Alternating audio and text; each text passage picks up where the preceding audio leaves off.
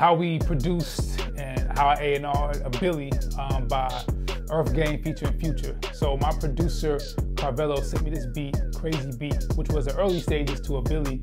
Heard the beat, fire, so I started doing some production changes to it, kind of playing with the arrangement, just making it more full and more polished. I have been working with EARTHGANG at that point for like a couple months, so I had EARTHGANG come to the studio with me and Carvello, and that night, man, them boys are crazy talented, amazing artists. They cut five songs in one night, like no cap. I'm talking about verse, hook, verse, hook, song done in like five hours. So the first song we worked on happened to be the early stages to a BILLI. We had pulled the beat up, they caught a vibe to it, and I think WowGr8 jumped on the mic and started freestyling that hook instantly. And just I kind of looked at Olu and I was like, yo, I think that's the vibe. And it was just something that was just super, you know, catchy, super like great potential for a hook. Anyway, the song got done. Some months passed. We had a couple tracks with them.